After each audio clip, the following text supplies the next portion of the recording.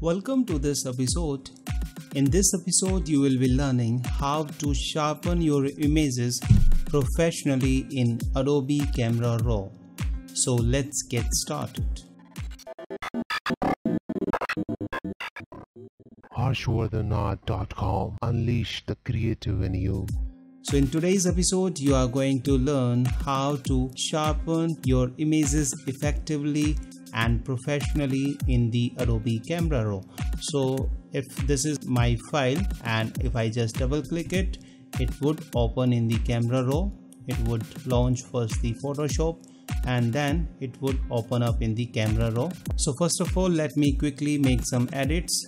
Let me press uh, auto bring the exposure down increase the contrast increasing contrast also brings out more details or makes the image look more sharpened as you can see. But if you drag it way up to uh, too far that is plus 100 then it is going to ruin this image. So always make it little bit okay? So and bring down the highlights increase the shadows a little bit okay and this is the clarity sliders which you can use to sharpen your images okay? And click and drag it. But if you drag it way too much then it is not going to not going to look good. But you can see it has sharpened the image too much okay?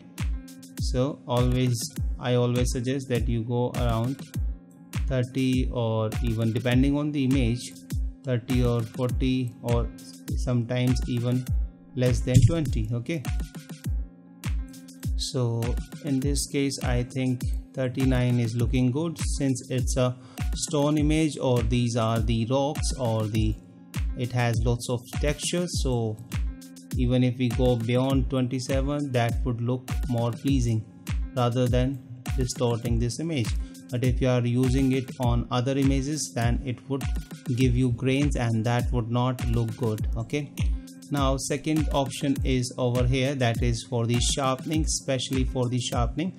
Normally what you can do you can increase this slider to sharpen your images. You can see if I drag it up it is going to sharpen each and every part of the image even the sky. Okay but it has introduced the grains or the noise in the sky which doesn't look good. So what we can do this is there is an option of masking.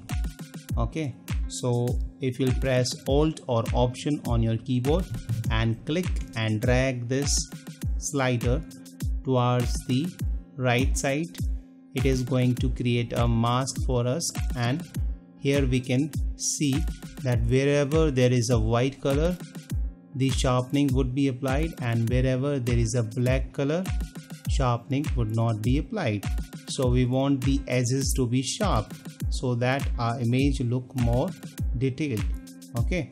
And we don't want it to affect the sky. So you can see we can drag it way up to where we don't see the sky. So it will not affect the sky but it is going to affect only the edges or these part of the image. And now we can sharpen it. And let me zoom in to show you as you can see the result if I drag this masking back you can see it has sharpened this area also and introduced the grain also. Let me take the sharpening way up over here. And now you can clearly see uh, 100% and you can clearly see the noise and the grains. But if I drag the masking you can see it is gone from this side and it is affecting only the edges okay. So never go beyond 50% okay. Because that would not look good. So always remain within the 47 or under 50 sharp for sharpening. Okay. Under 50 points. Okay.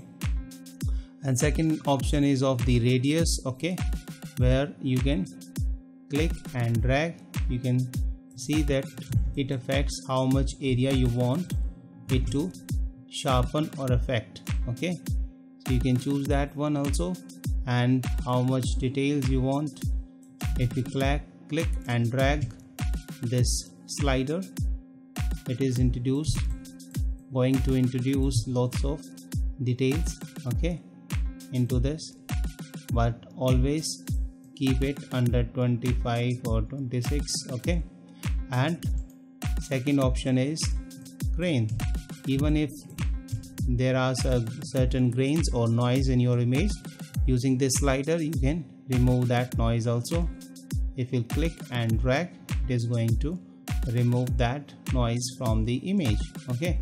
So once you apply the sharpening around 47% keep the luminance around 30 or 20 depending on the image how noisy your image is or how clean your image is okay? So this was the sharpening technique in the adobe camera raw which the professionals use okay? So thank you so much. If you like today's episode please don't forget to hit the like button and please subscribe to my channel for more videos. See you in the next episode